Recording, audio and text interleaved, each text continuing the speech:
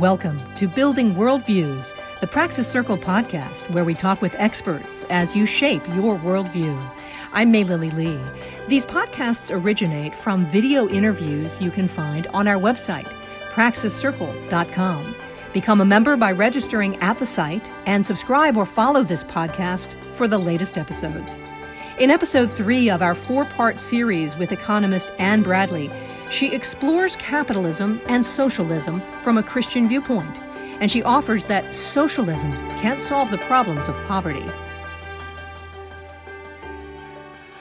Well, we are, I think we're um, moving into counting the cost now. Okay. Okay. And I, I have a ton of follow up questions, but I'm going to stay on plan. All right. And we talked about this some when, I, when we first met, uh, just the background of the book. Um, um, how, how did the book come about with Michael Novak in the beginning chapter? Just talk about that a little Mm-hmm. bit. Yeah. We uh, had done a first edited volume um, called For the Least of These, and it was really bringing theologians and economists together to try to understand a Christian perspective of how to help the poor, help care for the poor. And we felt that it was a really successful project, so we said, okay, what's our next project going to be? And we really wanted to do an edited volume. The benefit of that is that you have a lot of voices. So we have uh, uh, many authors um, and we wanted to do the same thing bring in economists, but also bring in theologians. And so when we were really wrestling with what are we going to talk about, there's so many things we could. Um, we said, okay, you know, here's the thing that we're observing is that there's a lot of calls within Christian circles for socialism. This is becoming a more popular term. Uh, it sounds good on paper. Is it good? Should Christians be socialists? I mean, this is a question, right? So um, the the flip side of that coin is how should we feel about capitalism? Um, and we've talked already about how capitalism is a complicated word that brings up a lot of emotions. So we said, let's deal with that. Let's really assemble a group of authors who are qualified to speak on this topic. And we didn't want to be cheerleaders for capitalism. There's a thousand books out there, and there some of them are good that just say, here's why you should be for capitalism. We didn't want to do that. We wanted to take people and say, who are the people that are really bringing legitimate questions? I'm a Christian. Should I be for capitalism or is it bad? We wanted to take those honest questions and try to address them. So each chapter is an effort to address a critique that Christians frequently bring against capitalism or that, you know, they're questioning. And so each chapter is an attempt to take the reader through that critique. And, and then again, they can decide, the reader can decide. And I, when we came to this idea, we said, okay, Novak has to be part of this. Um, and we reached out to him and he said he would be willing to do it. And we said, look, this book, um, The Spirit of Democratic Capitalism, uh, for many people, they cite that book as a life changing book uh, in terms of it changed their minds, it changed their hearts. They went from you know advocating for socialism to more advocating for a free society, and I think that's Novak's position himself, right? He had that um, revelation, and so when we asked him, "Can you write an updated version of that book?" You know, um, for the 21st century, in light of the fact that we have a new generation that's clamoring supposedly for socialism, and he said yes, and we're just very blessed that we were able uh, to to have him be part of the book. Um, in, in just a few sentences, do you feel like it's front of mind to you to be able to state the argument of the spirit of democratic capitalism? What is the, the main theme of the book? I actually asked um, Mr. Novak that question, and I don't think he gave me the right answer, but he gave me a really good answer. well, I don't know if uh, I'm going to give you the right answer no, either, no. but I'll give you my interpretation yeah, of yeah, it. Yeah. The Spirit of Democratic Capitalism is a really important book because it's also not just a cheerleading book. It's not written by someone who's never questioned capitalism. I think that's the power of it. So, what is he talking about in the book? The main idea, in one sentence, is that um, this kind of idea of a three-legged stool, right? That that to have a flourishing society, you have to have these pillars of freedom. You need economic freedom, you need political freedom, and you need pluralism. You need a society where you can debate ideas, right? And so he very much understood that there's a certain ethos, a certain system of ethics that has to undergird a society where we're going to be free, where we're going to live amongst each other. And that's a really powerful message, and I think relevant for the 21st century. So his message lives on. Do you, do you remember his connection to Centesimus Annus, JP2? I'm not very No, familiar with you're that, no. with that. Sorry. Okay. All right. Well, good. I'm glad you're not. okay. Um, all right. Um, do you think you talked about that hockey stick Mm-hmm. um, that that has really gotten a lot of pub? My favorite video is the one with Hans Rosling, I believe He's fabulous. you know. Um, do you think that could have happened without um, Judeo Christianity? The hockey stick? Yeah. I don't think so. I think that the hockey stick is predicated upon truths that come right out of Scripture. Now, some people have disdain for the Scripture, don't want to accept the Scripture, but interestingly, they still accept some of the principles. Let me just talk about one property rights. Property rights um, don't work because we tell people to respect them. They work because people believe that it's valuable to respect other people's property and to have your property respected. So, this is a deep, how do I say this? This is a value or a belief that people have to hold deeply for it to work. No business is going to make an investment in a society that's, um, you know, rife with civil war or sectarian violence. Why? Because you open up a factory, you might employ people for a couple days, and uh, you know grenades hit it the next day, and the investment is gone. Right? So it's it's we know how to generate economic growth, but it's it's not enough to say, okay, everybody, you should believe in property rights. People have to deeply believe that, and when they deeply believe that, they will respect others. So, right, it would be easy for me to go to my neighbor's house and steal their stuff. Why don't I do it? I don't do it because not just because I would go to jail if I do it. I don't do it because I believe it's wrong to violate the property rights of others. So I think that these ideas that come from the Judeo Christian heritage, property rights, work, savings, right? Savings mean you're you believe that you have a long time horizon and that you're bringing up families. These import these values are critical, I think, for this um, massive explosion of wealth we've witnessed over the past 200 years. So the next question is, um, it, it does um, self-limiting. You know, you need to be virtuous, but also self-limiting at the personal and institutional level for it to work. Um, positive freedom type thing. I may have just answered the question for you. I think free comments? free enterprise or a market-based society works because again we follow certain codes of conduct cer- certain rules of ethics at least most people most of the time you're never going to get perfect um, you're going to always have theft you're always going to have greed you're always going to have violations of these norms but the key is to get most people following them most of the time. This is what Adam Smith was worried about. He wasn't worried about perfecting human beings. So he was very wise there. He knew that wasn't possible. So society, to get it to run well, isn't about finding the perfect people to run businesses or the perfect person to be the president or trying to find the Mother Teresa's everywhere because we're just going to fall short of that. People are not generally altruistic all the time.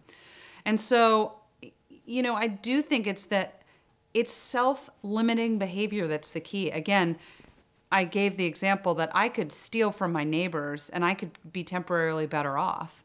But I restrain myself from doing that. That's a that's a code of ethics that I hold myself to. And when we all or when most of us restrain ourselves in that way, there's a lot more flourishing. So freedom isn't about using the state to tell us what to do and what not to do. It's actually about getting a deeper set of norms and ethics that encourage people to do that on their own. I make my own choices not to steal, right? Because stealing in the long run is much more costly of a behavior for me than being productive. Okay, when when you're talking about again to go back to the hockey stick and uh, coming out of the the Judeo-Christian world, do you think there's one way to do to do it, or are there three or four different ways, you know, to get to the same to the same phenomenal achievement that Hans Rosling shows us? Talks about. Is there one? I mean, or you know, it's an interesting question to me. I have my own answer, but I'm curious. One way meaning one way to construct a society. Is that what you mean? Yeah, Yeah. yeah. One I way, mean, one I mean, when you, let's put it this way: when you think in terms of um, Novak's three-legged stools, Yeah. there's certain things that make the leg a leg and not 50 legs Mm-hmm. or one leg. You know, but there are certain things. Is it, is it? Are there other three-legged stools out there that, Yeah. that would work to produce the same level of poverty reduction? Yeah. yeah. So I think um, the answer to that question is there is not one way, one unique way, but I think there are principles that always have to be in place. So the principles always have to be there. What are the principles? When we talk about, as economists, about economic freedom, uh, we're actually talking about something that we empirically measure. So we're looking at the rule of law, we're looking at the protection of property rights, we're looking at, at the size of the state. Um, people are people of, uh, free to open businesses, to engage in trade, to trade internationally, and we go in and we measure that. That kind of data that we can acquire there's a lot of ways to get to that. So if you look at, let me just give a concrete example. It took the United States 150 years to experience their industrial revolution. That's a long time. We had to have electricity before we had, you know, cell phones, and we had to invent, invent all these things from scratch. Japan, this is a country that goes through their industrial revolution in 20 years. Um, the countries that have not yet experienced an industrial revolution that Hans Rosling talks about so well, they will experience their industrial revolution in two decades, maybe less. So there's not one way. It doesn't take everybody 150 years. Um, here's another example. What we're seeing in the developing world is people are living in mud huts, and when they get a little bit of an income increase, they get a cell phone. It's very weird for us to look at that and say, you live in a mud hut, but you have a cell phone. Because why?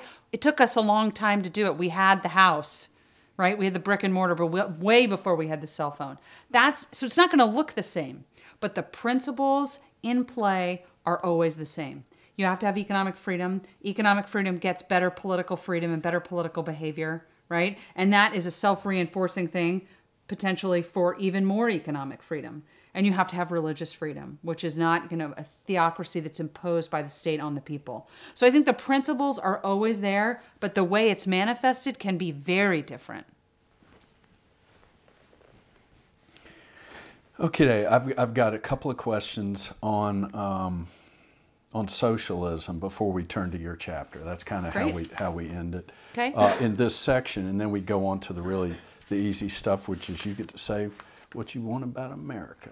Okay, Okay. but um, so you mentioned the idea of socialism is experiencing a comeback, which is phenomenal to me.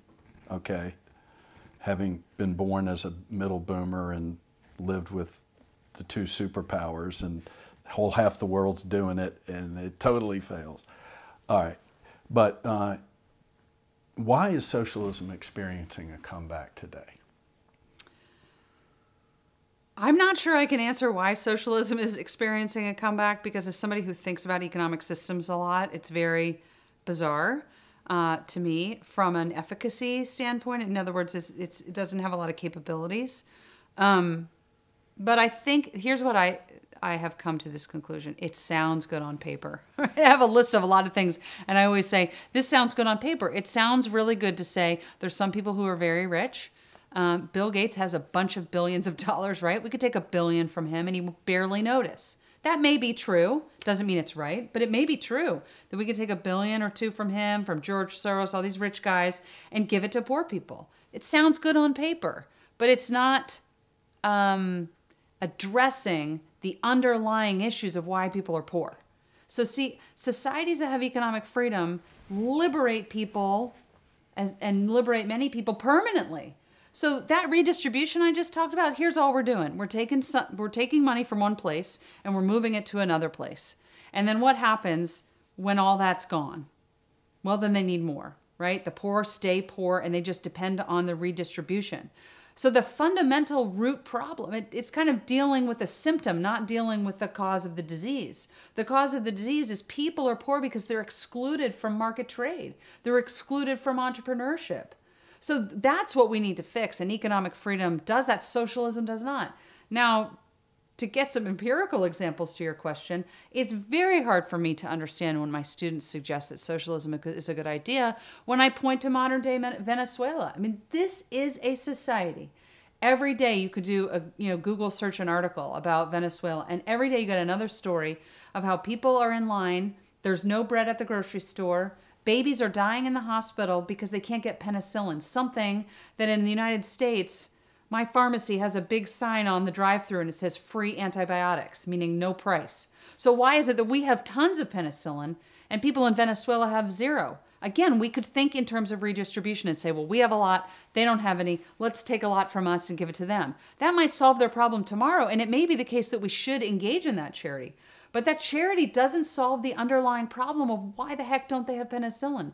They don't have it because there's no incentives for businesses, for doctors to provide services. So it's it's about a reform of the society which socialism cannot do. And to add another layer of complexity, as the state takes over more control of the economy, which is what socialism about is about, right? It's about the public ownership of the means of production. Then the state automatically becomes more totalitarian because if you're going to decide you you have this farm and you're going to grow this you have this manufacturing plant and you're going to do this. I'm going to tell you what to do. It's command and control. Then there's no feedback. There's no profit and loss. There's no learning. There's no trial and error. So if the state gets it wrong, people are just in trouble. Sorry, no penicillin for you because we couldn't figure out how to make it work. So when that happens, the threat of revolution escalates, and what happens? The government becomes more and more totalitarian. So totalitarianism is a natural outgrowth of socialism. It is a feature, not a bug. And I think we have to absolutely educate young people about this today because it's this myth that it's romantic and we're just going to share and it's kumbaya and everybody's going to be just going to take from the rich guys. It doesn't work. If it works, I would say let's do it, but it doesn't work.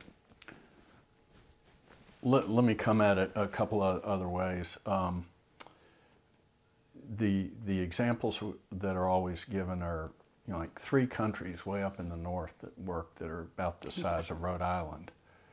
You know, Sweden, Denmark, and and and uh, Norway. Um, are they are they successful socialistic countries? They're not socialist countries. Uh, socialism again implies that the state makes production decisions. The state tells you you're going to own this factory and you're going to make nails. And then we're going to tell you how many pounds of nails to make. This is the Soviet Union, okay? This is where Venezuela is heading. Denmark, people are free to open businesses. Uh, in fact, there's a lot of entrepreneurship in Denmark. So when Bernie Sanders says we should be more like Denmark, in some ways, he's absolutely right. We should stop the overregulation of business, which I think is one of the big threats in the United States today. It's much easier to open a business in Denmark than in the United States. That said, what Bernie Sanders is really referring to is the redistribution.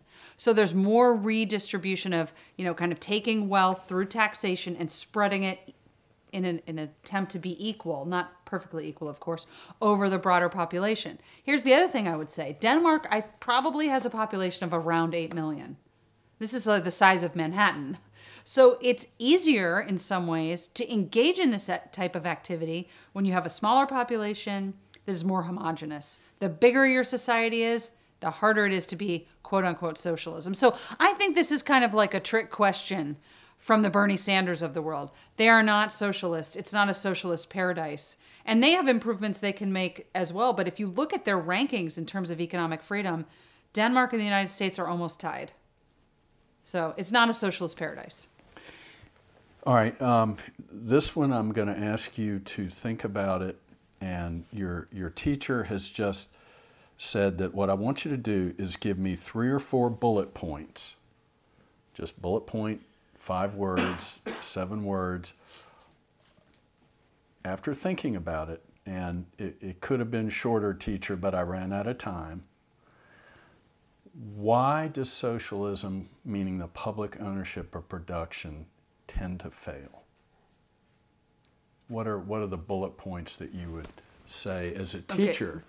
You bullet want to hear your reasons. class say. You don't want a lot of verbiage. You just want bullet point one, two, three, four. Five. Okay. Why does socialism fail? fail. Why the... does it tend to fail? Why does it fail? I mean, yeah. I, I don't see a lot of.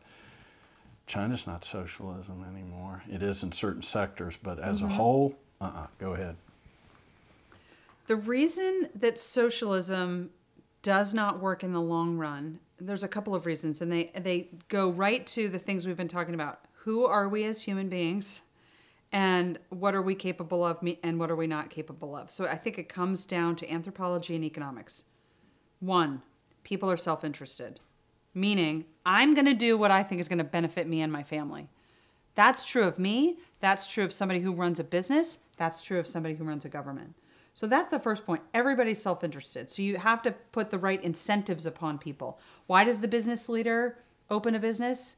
It's not because he's this altruist who cares about everybody. Maybe he does, but the real reason is because he's going to earn a profit, or she, if they do that and they do it properly. So incentives is the second reason. We're self interested, we respond to incentives. We can't rely on altruism. That's the problem with socialism. It requires people to kind of have um, no incentive to do some of these things. The other thing uh, or idea is knowledge. F.A. Hayek, very famous economist in the 20th century, talked about what he deemed to be the knowledge problem. And he said the reason that socialism fails is because we don't know what we're supposed to do. I mean, think about some of the most successful companies. Walmart. Walmart didn't start out as the Walmart we know it today. Microsoft didn't start out, you know, Bill Gates is tinkering around in his parents' garage. This is a story of trial and error. They had to become that. Why? Because they constantly are engaging with their customers. They're trying to give customers better quality, lower prices. That's the name of the game.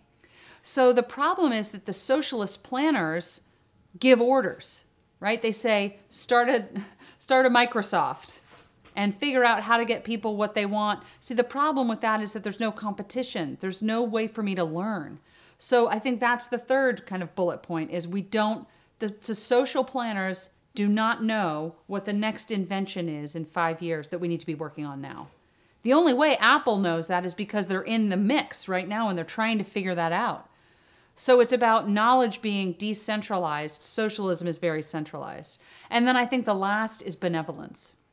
Socialism requires not only that we come overcome the self-interest problem, the incentive problem, and the knowledge problem, but we're going to give these social planners all this power and say, you do this, you do this, you do this. I'm an organized society. We're going to create prices. We're going to think of all the things because we're really smart.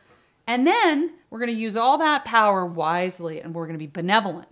This is, never happens. Again, what I said before, socialism is always connected to totalitarianism because if you're going to give somebody that much power, there's no way for them not to use that power to their own benefit. So, those I think are the major bullet points why socialism does not work en masse. Now, we can have small little, you know, we live in families, those are kind of socialistic, right? I don't make my kids pay for their cereal. but it works because I can plan for them even though not perfectly, and I love them. That's why families work. I love them and I care about them deeply in their long term. The socialist planner can't love all of us even if they wanted to. So those are the real, you know, character flaws of socialism. It's interesting in your four points you came back to the start where mm-hmm. self-interest, well governments the elite that are making the decision, they're also self-interested. Absolutely. And so, but they have way too much power. Okay. Very good. Now this is this is uh, we all know that freedom and equality are contradictory values. Uh, you know that's easy for people to understand. Here's the question: How do you resolve those key Christian values in your own mind? How do I Because they're both legit Christian values. Equality and freedom. And freedom. How do you think about that mm-hmm. as a Christian? And that, and then we're going to your your chapter about inequality. Okay. Okay. The it's easy for people, as you said, to understand the values of freedom. Um, and I, I think that this idea of the value of equality is a little bit trickier. What what is the value of equality? I, again, if you asked a Bernie Sanders, or even if you asked a, at you know kind of progressive evangelical, they would put that in material terms. They would say, well, equality is about material equality, and I think that is not a biblical understanding if you read the Bible front to back. Uh, we're never promised material equality. Um, I, and I don't think that's the um, Christian or biblical understanding of that term. I think equality is we are equally loved by God and we bear these um, equal characteristics in our creation. Um, and so that's a very different conception. We are equal in dignity, is how I would put that. We have equal dignity. Why? Because we are all created in the image of, and likeness of God. But we're different. So equality is not even a possibility. We look different, we think differently, um, we have different skills and talents. So equality is actually contrary to our created image. We are created different. We're not created equal, but we're equal in dignity.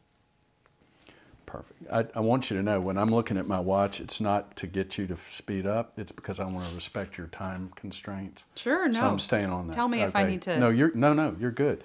I mean, I think we're good. I'm a talker. Uh, tell. well, no, I think we're great.